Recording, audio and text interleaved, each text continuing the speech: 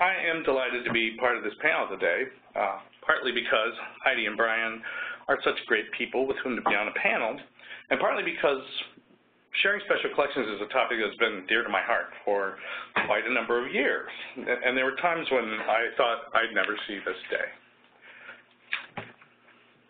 Let's see how I can advance. There.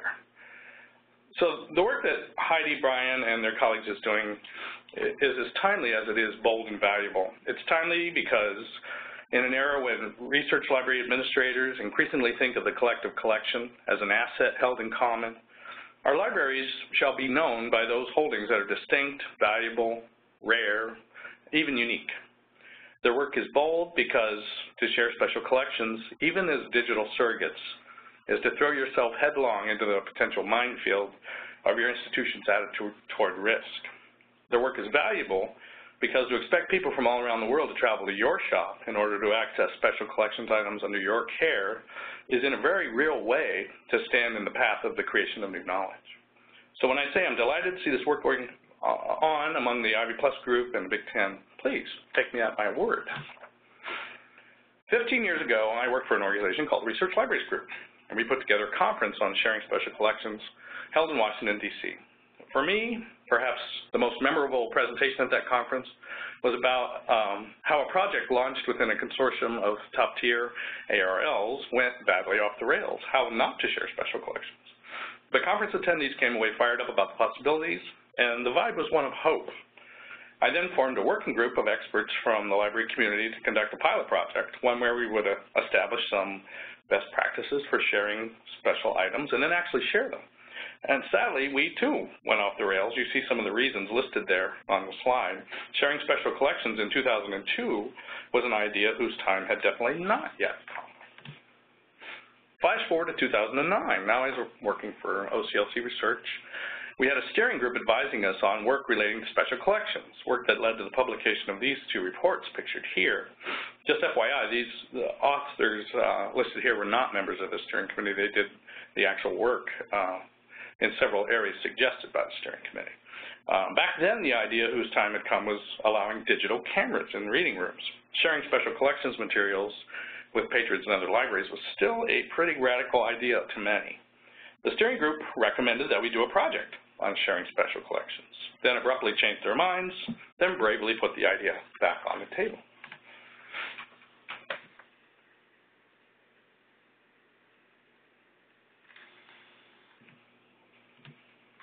So I guess take another crack at this. We formed a working group. Of course we did. We made up of teams of ILL and special collections people from institutions affiliated with the OCLC Research Library Partnership. The teams came in with varying amounts of exposure to the idea of physically sharing special collections. Um, we also had access to an advisory group of folks who were interested in the idea of sharing special collections, and many of them were already actively doing so. We stayed in close contact with an RBMS task force that was revising the ACRL's guidelines for sharing special collections, and we packed the hearings held by the RBMS task force at ALA Annual with ILL experts who, I am told, had not weighed in on previous revisions of the guidelines. One of the first things we did, aside from the requisite literature review, was to conduct a survey about current practice and attitudes regarding the sharing of special collections. We cast a pretty wide net, posted the link on all manner of international primary sources and ILL listservs, and received something like 88 responses, so not exactly a, a huge sample size. But we found that most of those who responded were already sharing physical items from their special collections, at least under certain conditions. I received a bit of pushback throughout the project, sometimes rather emotional pushback. Some seem to think that sharing physical items from special collections is going to be the source of some very bad mojo, possibly bring on the end of days, at least for library science. But we pushed on. On we did push. So first a comment about the report's title there. My idea, Tears for Fears, spelled T-I-E-R-S instead of T-E-A-R-S. So clever. The reason um, for the alternative spelling will be clear in a moment, but in retrospect, I wish we'd named it Sharing Special Collections for Smarties. All that cleverness made the report harder to find. We started out by coming to an agreement on some first principles that we felt were pretty solid and reasonable, certainly not the work of crazy-eyed zealots. The answer when someone wants to borrow a physical item from special collections is still usually no. most often there's a better solution than lending the item. Duh. Not everything in special collections is equally special. I'm looking at you, oral history transcripts.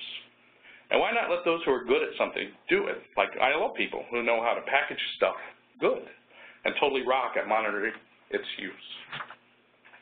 We then proceeded to create tools that folks out in the wild could actually use if they could figure out how to find my report with a clever title. A model written policy on sharing special collections. Add in your specifics.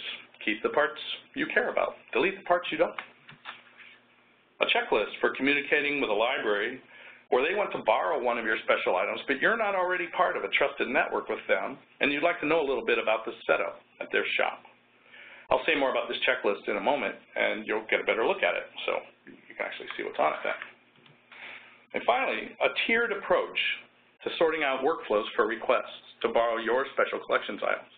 Again, you'll get a better look at this in a second.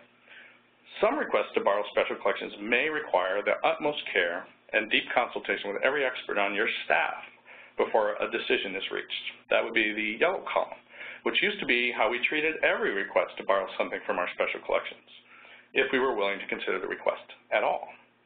Other requests may be for materials that fall into a class where the ILL staff can decide and act on their own authority. That would be the green column over on the left.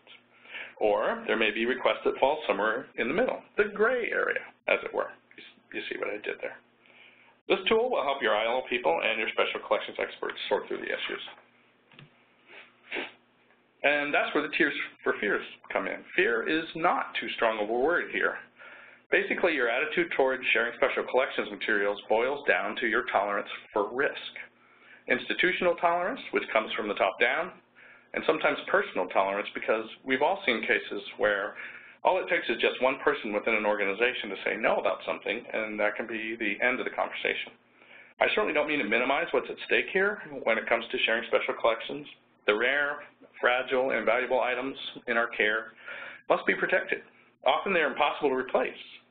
It would be irresponsible to share them without sober and systematic consideration and without taking adequate precautions but it's a conversation that can and should be had within an organization or within a consortium. It's our professional responsibility to protect the materials in our care, absolutely. It's also our professional responsibility to constantly question our values and principles and especially how we do things. You can walk through the three tiers here and begin to imagine what the conversation between your ILL people and special collections staff might sound like. As promised, here's a closer look at the Facilities Trust Checklist. The working group members spent a lot of time on this, articulating what's required in order to be considered a trusted host of borrowed special collections materials, and laboring to keep the list to a dozen essential points that fit on one page. The checklist can be useful in two distinct ways. It can serve as a conversation starter between libraries to establish expectations and ultimately trust. It can also serve as a request from frontline staff to library administrators, that we need to up our game locally if we want to be able to borrow special items for our researchers. We had a team from Penn State join our working group mid-project. The special collections person, Sandra Stelts, and the ILL person, Barbara Coopey, both since retired, had uh, attended a webinar that our working group put on called Treasures on Trucks, and they decided to take the plunge. They had the internal conversations, they sorted out the workflows for various classes of special collections materials. They shared equipment and cross-trained staff. And they moved special collections materials between the vault and the ILL office in special tubs acquired especially for this purpose, which soon became the object of extreme envy from others working in the library who saw these special tubs being carted back and forth between the two departments and, of course, coveted them. Penn State got to yes very often, it turns out, when asked for items from their special collections. For me, seeing them embrace the concept and truly walk the walk was like a dream come true. So that brings me to, um, oops, not, not advancing anymore. There we go. That brings me to the end of my remarks. I'm excited to hear what Heidi and Brian have to say about the projects in which they and their consortia are involved. Um, let it be known that sharing special collections at long last is definitely an idea whose time has come. So thanks for listening, and please type any questions or comments you have in chat. We'll address them after the presentations. So over to Heidi. Merrilee, what has to happen next? Uh, I have passed the ball to Heidi, and she's ready to go. Fantastic. Hi, Hi everyone. Can you hear me? Sounds great. Great. So welcome. Um, I'm Heidi Nance. I'm the Director of Resource Sharing Initiatives for the Ivy Plus Libraries um, partnership, and um, I was I'm so pleased to be here talking to you today about a, a, subject that is near and dear to my heart, and that was absolutely a wonderful introduction, Dennis. I really appreciate that. And um, I also want to say thank you to, to OCLC for um, hosting this webinar, which is an extension of a presentation that Dennis and Brian and I gave at the OCLC Resource Sharing Conference, and for uh, making a live webinar and, and, the recording available later. That's, that's just absolutely wonderful. So um, I'm thrilled to be here today talking to you about this. Um, I'm here mostly to tell you about a pilot project that we have going on within our partnership and our consortia around the scanning of special collections materials. And I know that Brian will be following up to talk about work that's being done in the Big Ten Academic Alliance. So I think between the two of us, you're going to get a really interesting window into two very different ways that you, either as an institution or as a consortia, might approach um, might approach this conversation. And I think that um, Dennis set it up really, really well when he was talking about the importance of trust because I have found that the communication and the trust piece is, is so absolutely critical and it takes time to grow. And by trust, I mean trust between your interlibrary loan staff and special collection staff, trust between your users to handle the materials appropriately, trust between institutions, and, and trust is a fragile thing. And, and I think that it's important to recognize how easily that can be broken um, through a mistake or, or simply through not paying attention and valuing this. On the other hand, I have also seen some absolutely amazing things happen when trust is there, when users are able to access materials that they really can't get anywhere else. And I think that also supports the mission of your institution, which is obviously primarily to serve your local users, but the more that you can demonstrate value of your collections in supporting the larger resource um, sharing community and the larger research community, I think is just so incredibly valuable. So as you can tell, I'm excited about this topic. So I will tell you a little bit about what we're doing within our group, um, and hopefully there will be something here that, that will be useful for you to take away as you think about this project. So a little bit about who Ivy Plus is and what Borrow Direct is. So Ivy Plus is a group, um, I sometimes joke that we're a semi-autonomous collective of 13 different institutions. We have Brown, we have Columbia, Cornell, Dartmouth, Duke, Harvard, Johns Hopkins, MIT, Princeton, Stanford, University of Chicago, University of Pennsylvania, and Yale University libraries. So at present, the core of our resource sharing offerings has been the Borrow Direct program, which is a uh, highly automated system through which we share physical materials, uh, has not included special collections and still at, at, present does not include special collections for the sharing of physical materials. Um, but we do share almost uh, over a quarter of a million items um, per year. We have a 40 average delivery time that is dropping and a steady 95% fill rate. Um, what's also not listed here, which is very interesting, is that we've seen a steady growth in the sharing of materials through this service over the years. We've had an average of a 7% growth each year. Um, this year, I think it's up about 3%. And I think that that's especially interesting in an era where print circulation and use of print materials is generally on the decline. So that's very, very, I think, useful. It speaks to the, the value of the service. I think what's also interesting, too, is that users will frequently begin their research or, or their, their career at one of these institutions and then move on to be either a researcher or a postdoc or even a faculty member at another institution and they use the service when they move between institutions. So that's been really, really exciting to see. So all of this to point out that there was a strong ethos of resource sharing and, and again, that trust, that trust that had built up between these institutions over the years through this established program. But as I said, it did not include the sharing of special collections materials. So how did our, our pilot get started? Well, it really frankly started as a hallway conversation. I, I wish I could say something more exciting or more strategic or more thoughtful than that, but really that's how it began. Uh, this is a photo of the Mansueto Library at the University of Chicago that I visited last June when I first began this position. And I had a conversation with their special collections librarian, and I, I learned that he had co-authored a white paper on the sharing of special collections materials through resource sharing, and, and I got very excited, and we began talking about it a little bit more. Um, I then returned to my home institution at the University of Pennsylvania and mentioned this to my supervisor who said, well, gosh, you know, we have a scan on demand pilot for our local patrons for sharing of these materials through resource sharing, or excuse me, just, just on demand for our local users. Why don't we start a pilot with the University of Chicago? So I reached out to Chicago and said, hey, you know, would, would you be interested in, in trying this out? And they said, absolutely, that sounds like a great idea, but we would want to open it up to other participants. We would want to see if there were other Ivy Plus and Borrow Direct libraries who'd be interested in participating. So I, I sent out a call for participation. Uh, I said, hey, you know, who's interested in trying this out? If you're interested, please fill out this doodle poll to look for a time that we can all meet and just talk about what this might look like. I was not asking anyone to commit at that particular juncture. It was really just a, who, hey, who's interested in having a, a broader conversation about this?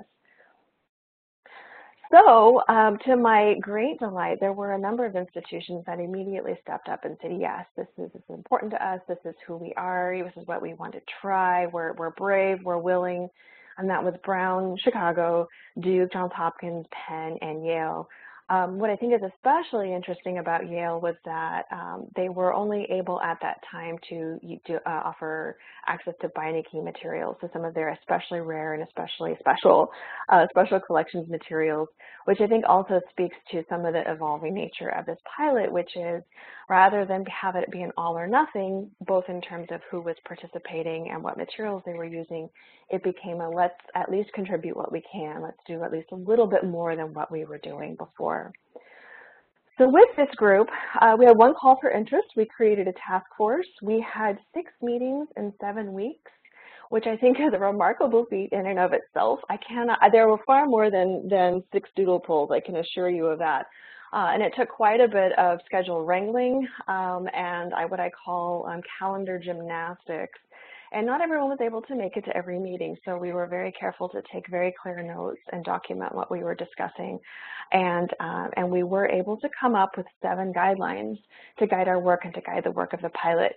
What I think is especially interesting, and that isn't listed here, is that it was not just resource sharing people who were part of the task force. We also included digitization specialists, we included special collections representatives, as well as resource sharing practitioners and heads of access services and um, heads of access services at Beinecke, in fact. So this was really, I think this diversity and this cross-functional approach was one of the most significant aspects to ensuring that this was successful. So we weren't just stuck in an echo chamber and we weren't stuck on questions where we had to circle back to someone else and come back for answers. We had the majority of the information we needed present at each meeting. So I'll quickly go through the guidelines um, that we came up with, and I realize these are text-heavy slides, but I wanted to be sure to offer these for you so that you could see them um, and look at these slides later and perhaps share them. So we already had a reciprocal interlibrary loan policy where materials that for whatever reason um, weren't being shared through Borrow Direct but went through interlibrary loan between our libraries, would all, we would already not charge for that.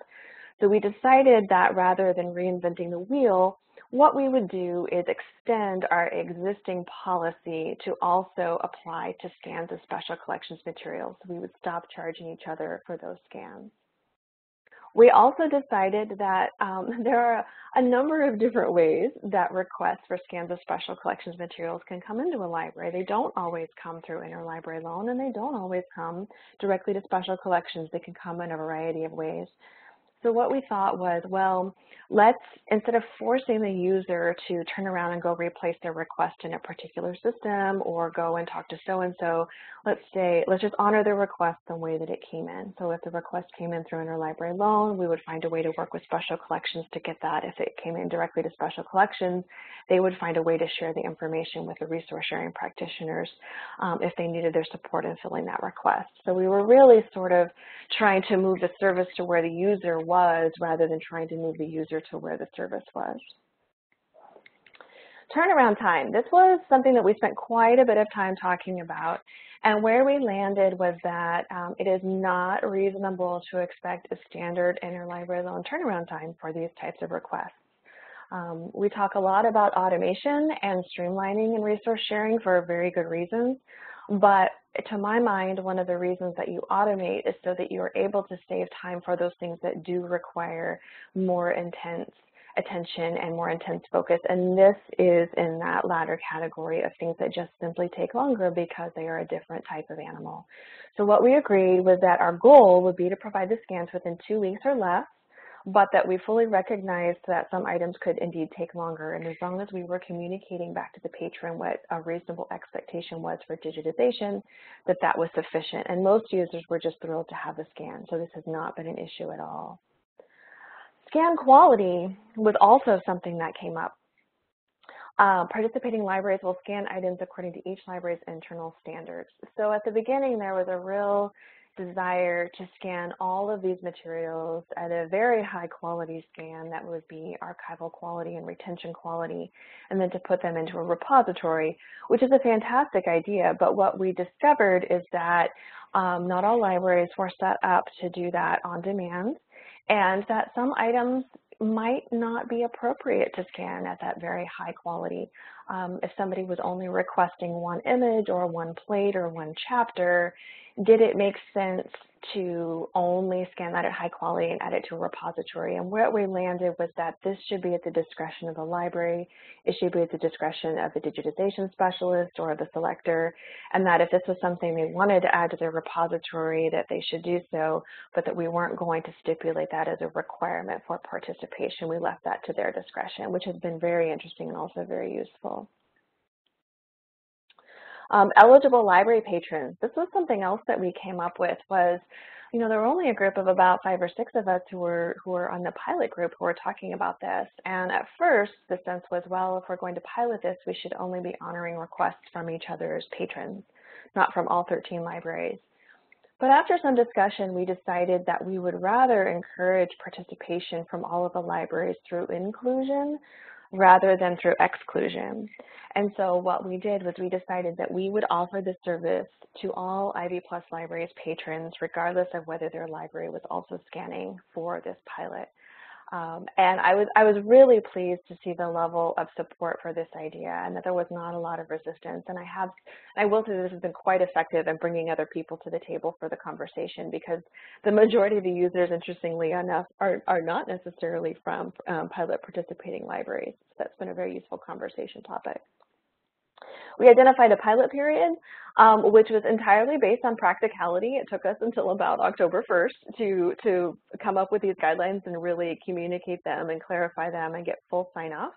So we began last October. It will run through this coming October, but we do want to begin a program review process as of July 11th, and I'll talk a little bit more about that in a second. And we also ask that people to uh, report their statistics quarterly. And statistics are an evolving, um, an evolving process because we, um, we wanted statistics ideally from both the borrowing and the lending library, but that wasn't always feasible. So we're still refining the process for gathering those, but we are able to get a list of things that were requested, things that were filled, and things that were unfilled, and what the reasons for unfilled were. So this is an example image I wanted to show you um, that was scanned at uh, Penn Libraries for a Harvard uh, patron, which I think is, is really, really absolutely fantastic, and I love seeing this image. And then this is something that was scanned um, at Beinecke for a user at Columbia. So if you look at this slide, you might know that Harvard is not a participating library and also that um, Columbia is not a participating library, although both of them are very interested in participating. And I think the fact that their users are making use of the service has been a really wonderful conversation starter with those libraries who are very eager to participate, and we're continuing to have that conversation. Um, it's been really helpful. I'll talk a little bit more about this in a second, but it's been helpful to have people participate as they were able in order to sort of pave the way and identify processes for the future libraries.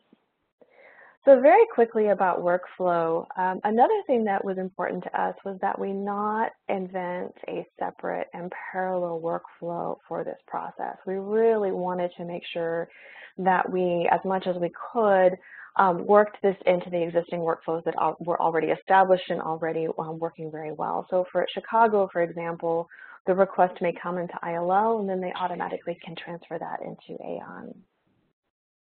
At Penn, um, the request may come into ILL, and then sometimes they circle back to the borrowing library before passing the request on to Aeon. For at Johns Hopkins, they had a very, very interesting approach, um, which was they actually created a separate ILLiad instance um, or a separate ILLiad NVTGC in order to um, pass a request over to that um, ILLiad instance for, in the special collections area for scanning. So very quickly, here we are looking at the requests. This is just for the first quarter from October 1 until the end of December.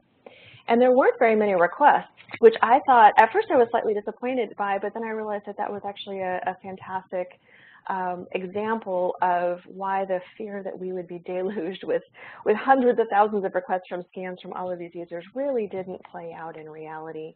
And if you look at the reasons for unfilled, you have lack, other, lost, not found as cited, unavailable, canceled by borrower, copyright not owned, and policy. Almost none of these, perhaps, except perhaps other, almost none of these are ones that are related to condition of the item. So that was very, very eye-opening to me. And then very quickly, here are some sample titles. I just thought those were interesting. I'm going to move along quickly to be sure I leave plenty of time for Brian. And then briefly, I want to just talk about evaluation that we hope to do in July. One of the pieces that I would really love to be able to get at is the value to the user. What did this service enable them to do that they wouldn't have been able to do otherwise? Was this scan used in a publication? Was it used in a grant proposal? You know, was this something that they wouldn't have been able to accomplish their research or their scholarship without? And so that's something I hope to be able to, to touch on a little bit in evaluation. We want to look at the reasons that the volume is low and see if there is an issue with the request process and see if we can identify some, some uh, fixes there.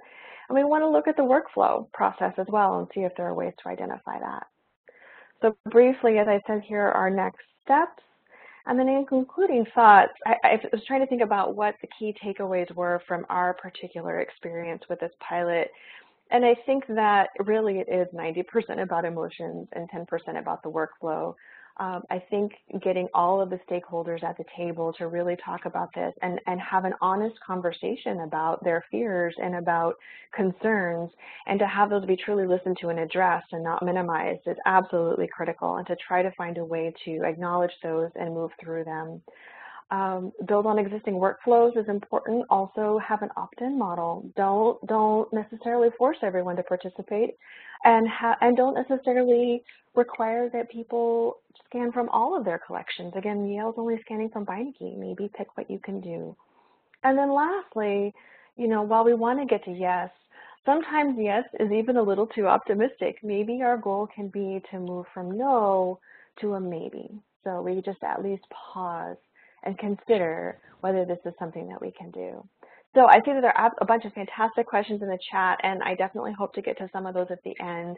But at this point, I think I should turn it over to Brian to talk about um, the Big Ten's approach, which is quite different and also equally wonderful.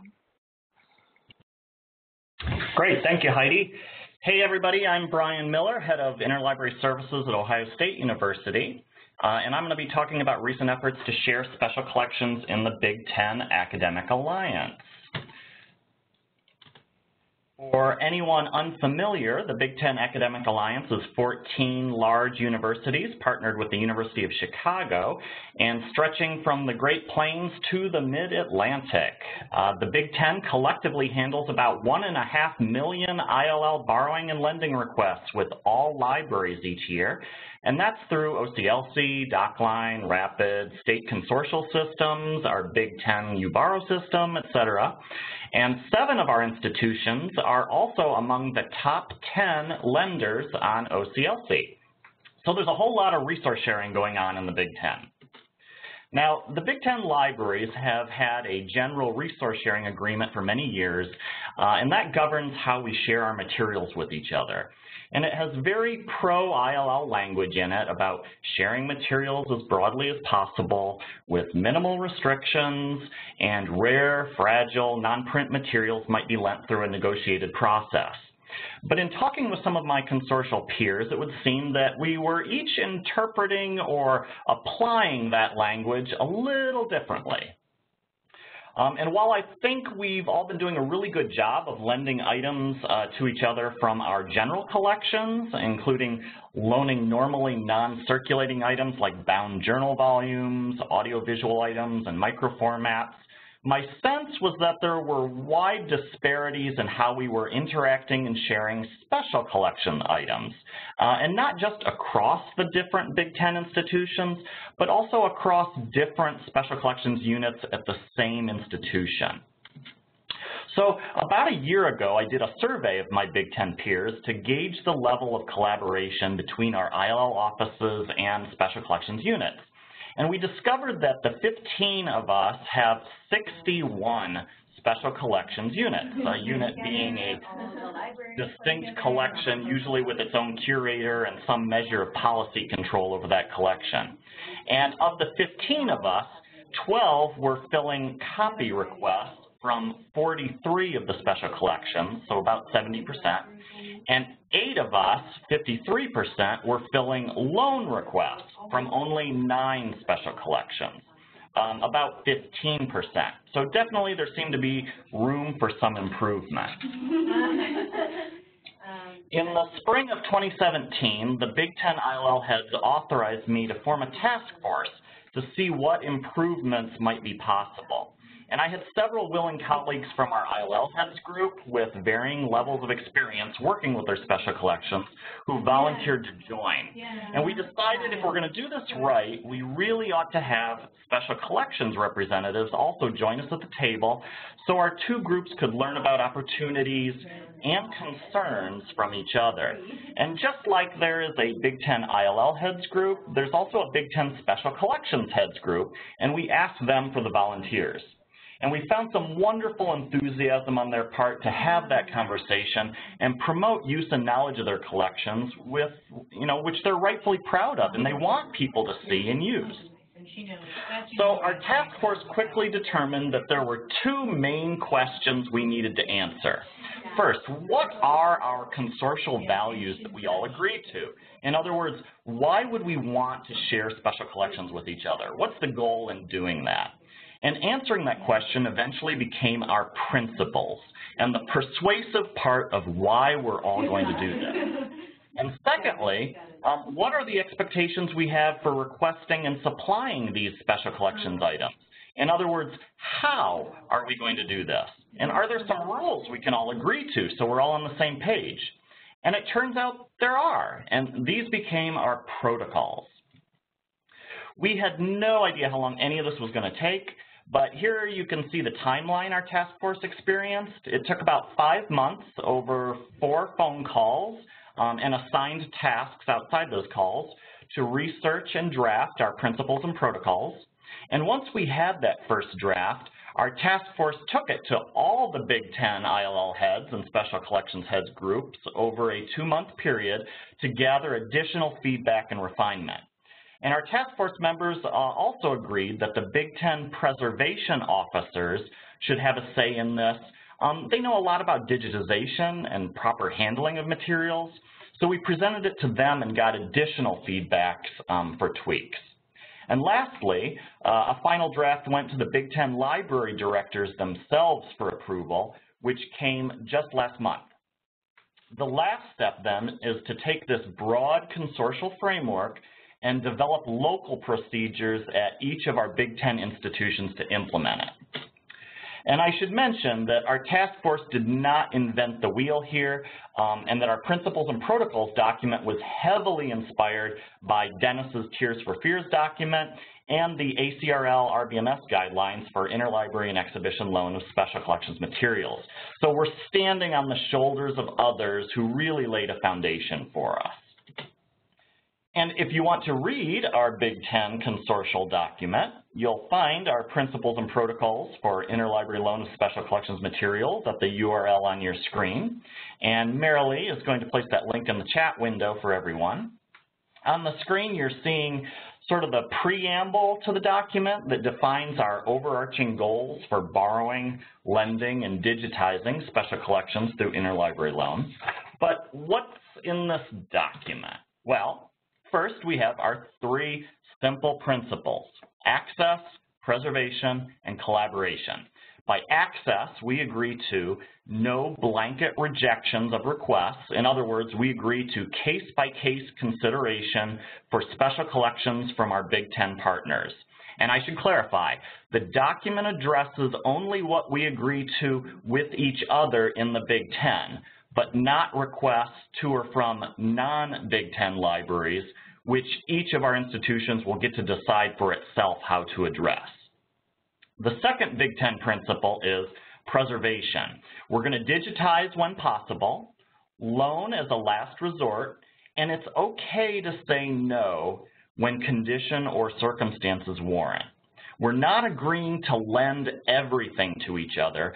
We are agreeing, though, to consider each request. And lastly, the last principle is collaboration, that we're all in this together as a common Big Ten community within and across our institutions with the same end goal of furthering research and teaching. And to promote that, we're breaking down barriers between our ILL, special collections, and preservation communities. The other half of the agreement is the protocols. And you can see on screen our standard Big Ten usage and shipping conditions for special collections physical loans. Um, but of course, each Big Ten library can apply additional restrictions for a particular piece as needed. Note the first condition, special collections reading room use only. This is different from the more generic in-library use only phrase because Special collections reading room use means that the patron's use will be supervised by library staff in a controlled reading room. It does not mean unsupervised use anywhere in the library, like in library use only might imply. And I think that's an important distinction. Uh, the rest of the conditions here I think are pretty self-explanatory. Um, and very similar to the Interlibrary Loan Code for the United States, we have defined responsibilities for the borrowing and lending libraries for special collections. So on the borrowing side, we've agreed that getting physical items from special collections should be a last resort. The borrower should have exhausted all other domestic options first to try and borrow a title from a general collection somewhere, and then if that fails to happen, consult with their user to see if a special collection loan is acceptable before resubmitting the request to a Big Ten partner. And we partially came to this conclusion from a pilot program here at Ohio State where if a lending request came in for a particular special collection, um, we as the lender used to go directly to our curator and they would often say yes and we would conditional with our restrictions. But then half the time we never heard anything back from the borrowing library, which was wasting our curator's time with items sitting on their desk ready to go out, but the requests never came back to us. Um, so presumably, either those borrowing libraries went and found a general circulating copy elsewhere, or they or their patron didn't want a special collections item. So now, Big Ten borrowing libraries agree that if a Big Ten lender conditionals to say this is a special collections item, the borrower will continue through the lending string and exhaust other domestic libraries for a general circulating copy first, Next, check with their user to see if a special collections loan with restrictions would be acceptable. And then if so, go back to the Big Ten lender who had conditionals and say to that lender in a borrowing note, you know, we've tried elsewhere to no avail, we've consulted with our user, and now we'd like consideration from your curator. And the borrower is also placing the lender three times in the lending string of the new request um, for the lender to work through that consideration. On the lending side, uh, copies is really the low-hanging fruit here, uh, and we all agree to accept and fill scan requests for articles and chapters if possible. And for loan uh, requests that are agreed to, we're going to document conditions of special collections pieces before we lend them and include paperwork uh, identifying any pre-existing conditions with pieces um, and our usage restrictions. So those are the broad brushstrokes that we've agreed to at the consortial level. Now, each of our Big Ten institutions are obligated to create or revise written procedures for implementing this framework locally. So for example, here at Ohio State, I convened a small group of ILL, preservation and reformatting, and special collections representatives to work out our workflows for borrowing and lending special collections. Some things we were already doing, uh, like lending copies fulfillment, and we just needed to update our existing documentation. But others we had to create from scratch, like what happens when another library's special collections item arrives for our user. We had kind of been dealing with that ad hoc in the past and really had nothing written, but now we do. And if anyone is interested, you can see our procedures here at Ohio State if you go to the URL on screen. And this is hot off the presses. We just finalized these last week. Uh, there are really four components. Um, borrowing loans is the first, and we answer things like, where is the item going to be kept here? How is it checked out to the user? What if the patron asks for a scan from it? Which department is going to do that? Um, second component deals with lending loans. Uh, what does the ILL office do before the request goes to Special Collections? Who in Special Collections reviews that request and using what criteria? Who packages the item and how? Um, that's all in there in these procedures. Uh, third is lending copies. How are those requests reviewed and routed? And who does the scanning? Who delivers the files? And the one section that's still a work in progress for us here at OSU is digitizing entire works that are in the public domain and not already digitized by someone else. Um, we have some key staff vacancies to fill here, and we're hoping to tackle uh, that component of our procedures later this summer. Now, if the procedures I've described are way too much in the weeds, way too much detail, we also have simplified one-page flowcharts for each process that has gray boxes for action items, blue boxes for decision points, and reddish boxes for terminal statuses. And those are at the link at the bottom of this slide. And lastly, uh, we have our Special collection Streamer that on one side contains our standard usage and shipping conditions with room for additional item-specific restrictions. And on the reverse side of the streamer has a mini condition report which is filled out at the time the item is packaged and denotes any pre-existing conditions with the piece. And you can take a look at that too if you like. So here are the links to all of the Big Ten and OSU documents uh, I've described. Um, as my closing thought, I like the analogy, and I've used this before, that some scientists, and certainly our pop culture, often talk about space as being the final frontier. And then you have other scientists like oceanographers and geologists who push back and say, hey, wait a minute, we haven't yet completely explored the Earth's deepest oceans. We've got a frontier right here in our own backyard. Well, some in the ILL community suggest that ebooks are our final frontier in resource sharing. But I'd like to push back a little bit and say, wait a minute, we haven't yet plumbed the depth and richness of our own special collections for resource sharing. Well, we in the Big Ten Academic Alliance want to change that, and we're about to take a major first step working collaboratively toward that goal. Thanks for listening.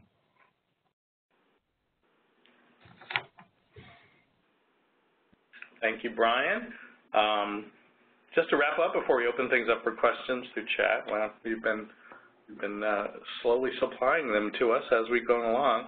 That's good to see. Uh, this slide echoes one of Heidi's because all of this bears repeating.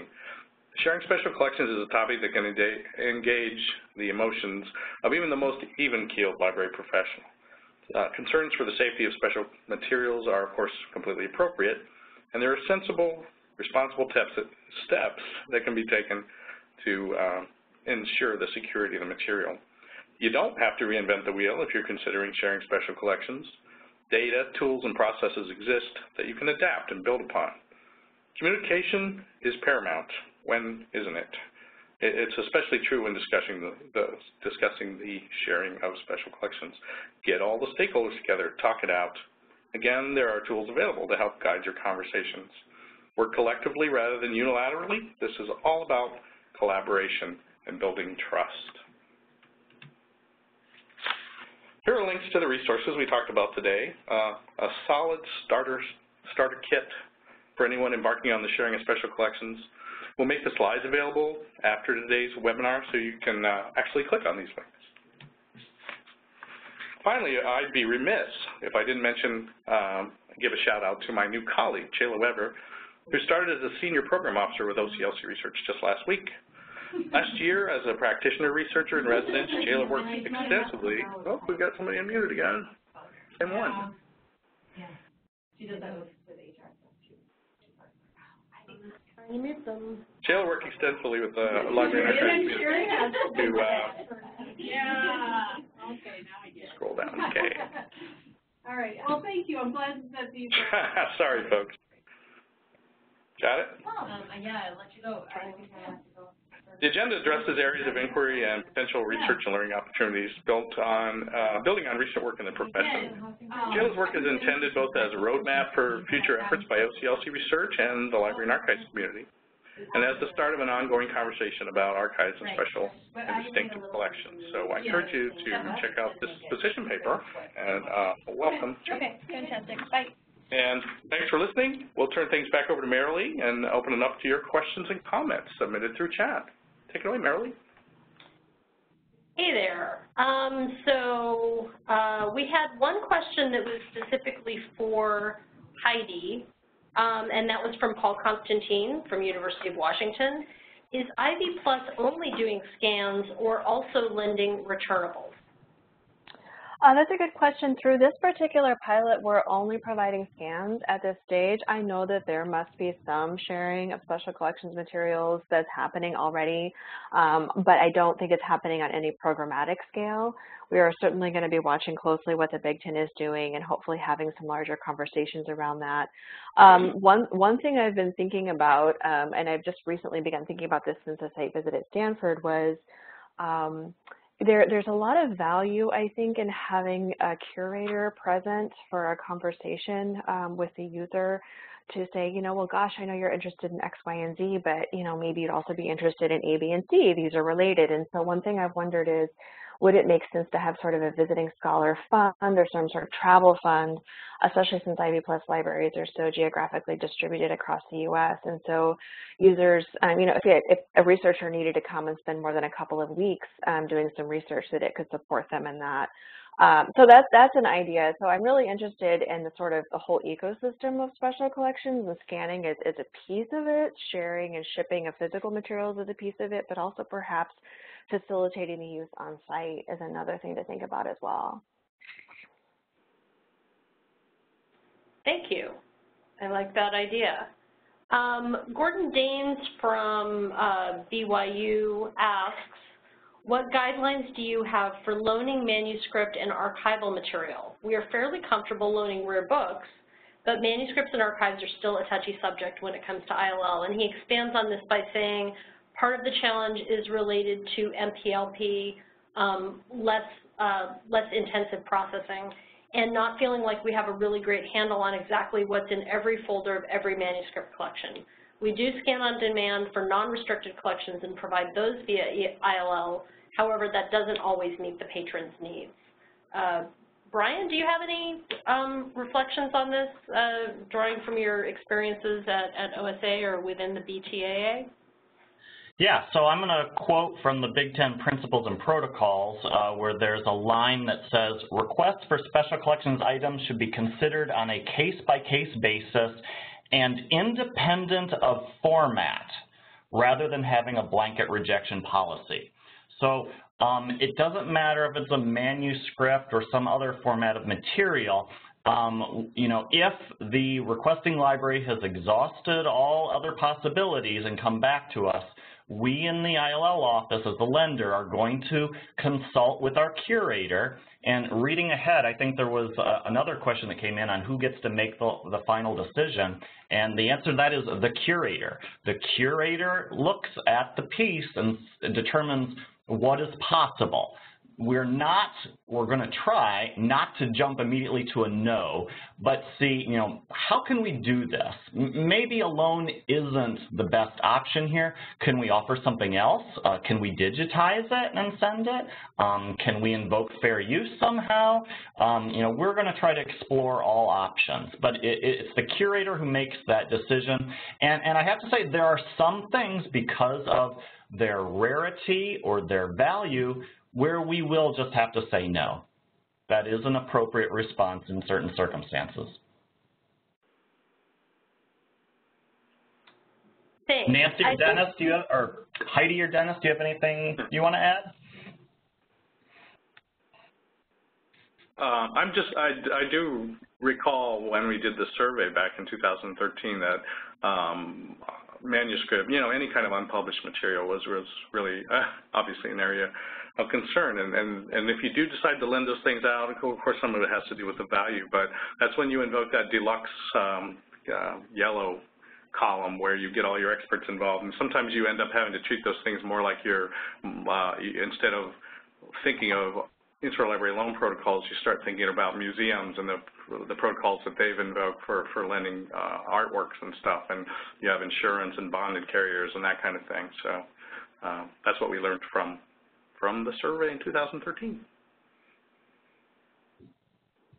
This is Marilyn. and I'll just comment that I think from uh, Gordon's um, question that he may be a little um, more concerned in addition to uh, the nature of the materials that uh, because of the extent to which the collections have been processed that what they're sending may not be meeting the patron's needs. And I think that that gets into um, kind of a need for more, um, more dialogue uh, with, with a patron perhaps.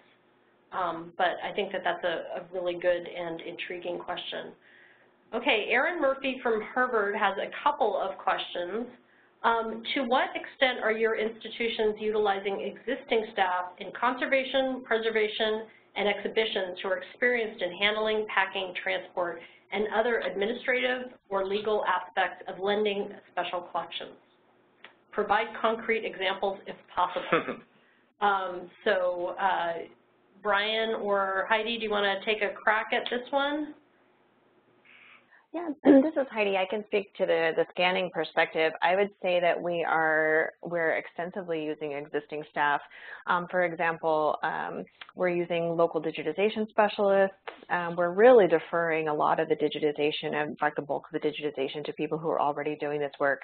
In fact, there are often people who are directly involved in local digitization projects for prospective digitization, um, and this is something that, because the volume has not been very substantially high, or are simply able to sort of shoehorn into their, their current workflow in a way that's feasible.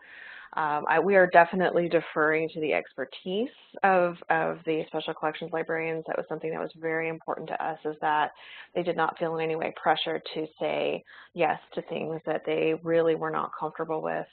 Um, but I think that the time piece is really important, and this is coming up, I think, in a number of our questions, which is, you know, how are you how are you working this essentially into your ILL workflows? And I think this gets back to the fact that you can repurpose the things that are working about ILL effectively, which is the request process and sometimes the delivery process for digitization. And you can repurpose what's working effectively about your high-end digitization programs in your special collections, your digitization areas. But really, this is a hybrid approach, and you need to take what's working from both of those effectively instead of trying to sort of force this into one area or the other when it doesn't work as well. So I, I would say extensively for the scanning piece. So in the Big Ten um, protocols, one of our, uh, actually the principles, one of our principles is collaboration, and we have a line in, in, in, the consortial framework document that says lending from special collections should be accommodated with existing resources and current staffing available at the borrowing and lending libraries. So we're all planning to implement this new document with uh, existing staff. Um, the framework is written broadly enough, though, that each of our institutions in the Big Ten uh, get to work out what the local workflow is going to be. Um, you know, is it going to be special collections staff that are doing the scanning? Will it be preservation and reformatting staff? Will it be the ILL staff?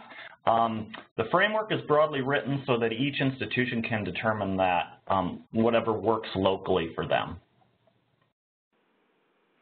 Okay, great. Um, Boaz from Brown has got a really um, interesting observation. Can we consider sharing digital copies via a shared database? Um, uh, Amy Lynn from the Getty also pitches in and says, when digitizing entirety of public domain works, I consider, I hope you can all consider contributing files to the Internet Archive to make materials more widely discoverable. And for art-related tiles, we'd love to have you contribute to the Getty Research Portal. Uh, Amy, I'll be sure to include the link for that um, in the uh, in the in the notes for um, for this webinar. Um, so an intriguing observation there from Boaz.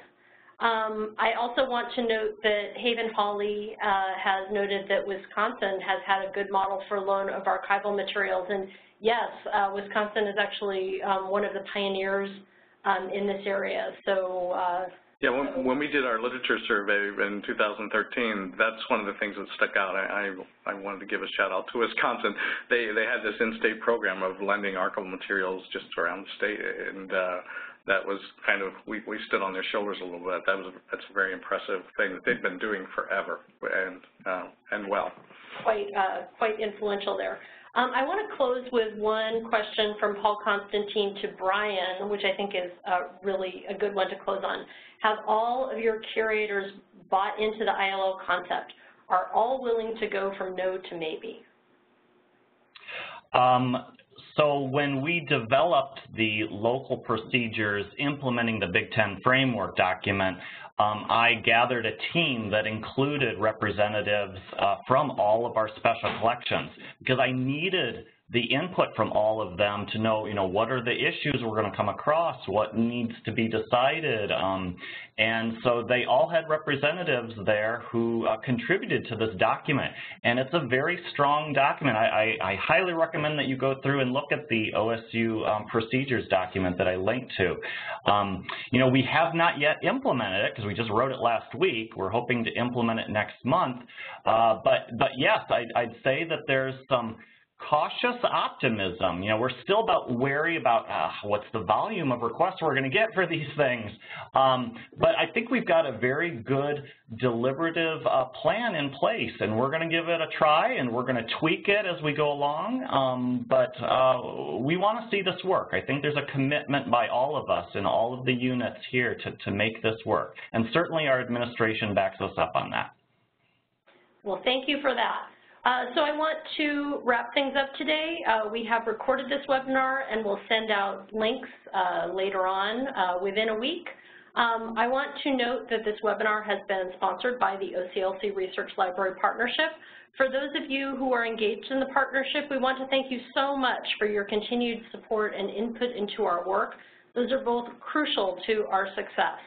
Um, so thanks for your attendance and your forbearance Uh, through technical difficulties, and this concludes today's webinar.